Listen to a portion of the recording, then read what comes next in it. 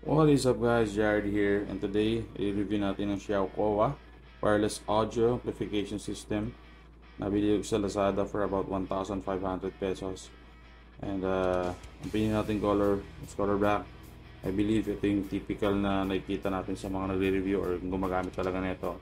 And since black is my favorite color yun talaga yung pinili ko. Ito yung sa likod ng box naman makikita nyo yung mga specs ng mismong uh, device. Pero ang mas gusto makita talaga dito yung way of pairing niya is paired by factory default. Yung, yan yung digital sampling niya is 48k hertz. Yan. Battery lifespan no less than 500 times. Usage time around 6 hours which is good. Ibihira lang siguro may tumutugtog ng around 6 hours na ano no, dire-diretso. Yan. So uh, yun, sana natin. Let's see what's inside the bag. Pinaka manual, I believe ito yon. User guide. Uh, yan saan siya applicable, basahin nyo na lang, make sure binabasa nyo kasi ako minsan hindi. Tapos yung uh, USB uh, charger niya. Ayan. Uh, bali dual na siya no. Isang saksakan sa dulo. Pwede mo siya sabay ng charge literally. Which is a good thing. Next, ano na dito? Ah, may guitar pick. So, mas prefer ko yung makapal. Lagyan natin dyan. Next, itong uh, connector niya. Uh, pwede, I believe 3.5 jack to pwede sa mga ganong klaseng saksakan.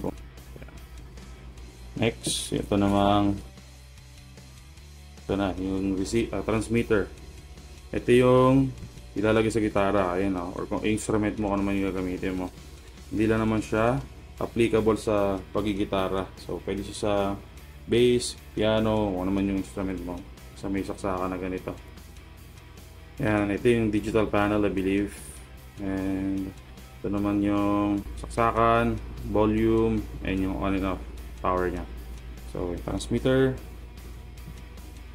The other one, I think pareho lang naman sila ng layout, no? Yan. So, same.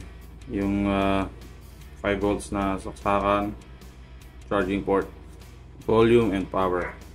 Andito rin yung uh, digital panel. Ito yung receiver. So, ito ilalagay nyo sa mga amplifier nyo or speaker. Or sa audio interface, I believe. Pwede rin siya.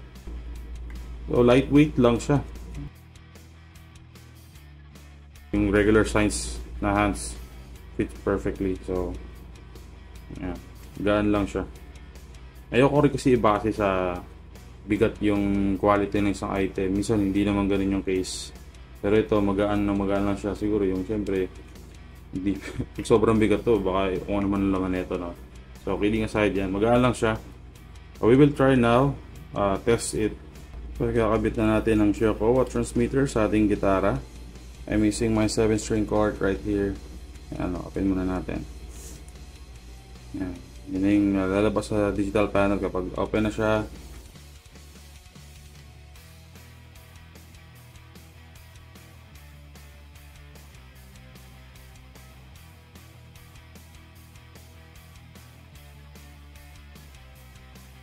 Ayan. So, kakabit naman natin ngayon yung uh, receiver dun sa audio interface. Then, yung receiver naman ng Chocowa, ilalagay natin dun sa ating audio interface slash amplifier kung meron kayo. So, open muna natin.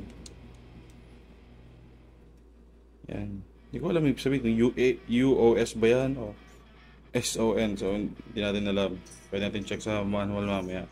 So, uh, lalagay natin sa ating M-Audio, M-Track Solo, or, or any uh, audio interface or amplifier you have. Ayan, naka-set up na siya. So, tamang volume lang. And we will now test